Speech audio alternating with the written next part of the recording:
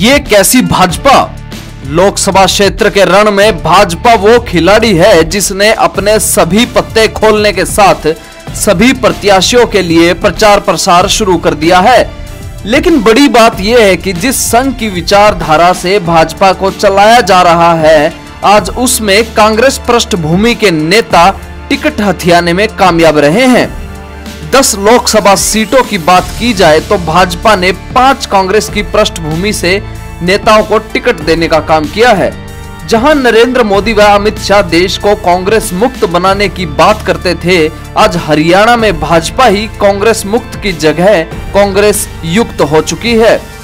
इसका जीता जागता उदाहरण है 10 लोकसभा सीटों में से पाँच कांग्रेस पृष्ठभूमि के प्रत्याशियों का उतारना।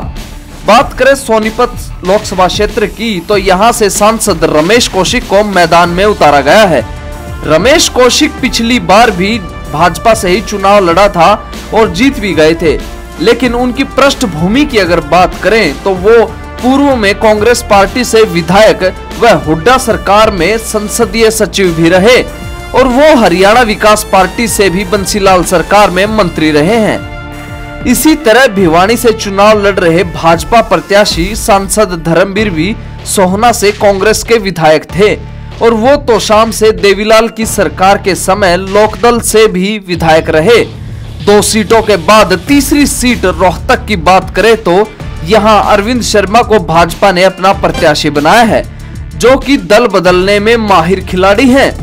डॉक्टर अरविंद शर्मा दो बार करनाल से कांग्रेस के सांसद रहे हैं और एक बार सोनीपत से तो इसी के साथ शिवसेना और बहुजन समाज पार्टी में भी गोता लगा चुके हैं। चौथी सीट की अगर बात करें तो वो सबसे हॉट सीट हिसार रही है। यहाँ से केंद्रीय मंत्री बीरेंद्र सिंह के बेटे ब्रजेंद्र सिंह को टिकट दिया गया है। इनके पिता बीरेंद्र सिंह ने 42 साल तक कांग्रेस की राजनीति की है। वो कांग्रेस के प्रदेशाध्यक्ष हुड्डा व भजनलाल सरकार में मंत्री भी रहे हैं।